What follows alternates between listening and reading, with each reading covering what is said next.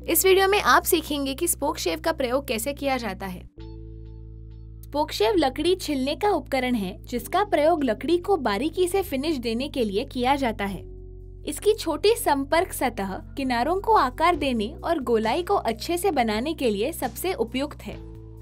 Draw knife के विपरीत spoke शेव में काटने की गहराई को नियंत्रित किया जा सकता है, जिसे उपकरण की बॉडी से ब्लेड बाहर निकालने या अंदर करने के द्वारा नियमित किया जाता है।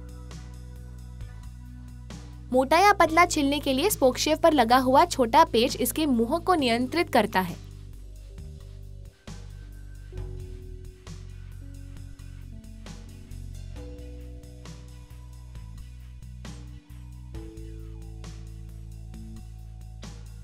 स्पोक शेव के निचले भाग को आप लकड़ी पर टिका सकते हैं और काटने को बेहतर तरीके से नियंत्रित कर सकते हैं। इसमें दोनों और दो हैंडल होते हैं जिन्हें लकड़ी के ऊपर उपकरण को खींचने या धक्का देने के दौरान पकड़ा जाता है। दोनों हाथों से स्पोकशेफ के हैंडल को हल्के से पकड़े। बाहर की ओर छिलते समय ताकत लगाने के लिए अपने अंगूठों का प्रयोग करें।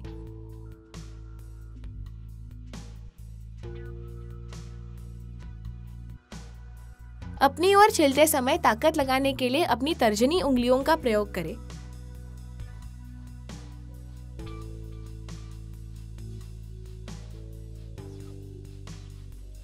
यदि आपको काटना शुरू करने में कठिनाई हो रही है तो ब्लेड को तिरछा रखते हुए शुरुआत करें।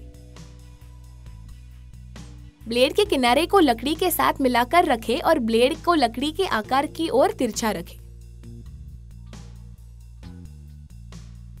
आयताकार लकड़ी को गोल बनाने के लिए चारों कोनों से रंदा करना शुरू करें ताकि एक अष्टभुज बन जाए। आयताकार लकड़ी को गोल बनाने के लिए चारों कनों से रंदा करना शुरू करें ताकि एक अष्टभुज बन जाए। याद रखें कि रेशों की विपरीत दिशा में काम करने की तुलना में रेशों के साथ काम करना हमेशा आसान होता है।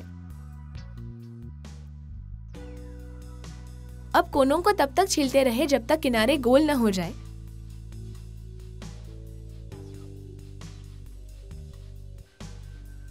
अब आपने स्पोक शेव का प्रयोग करना सीख लिया है।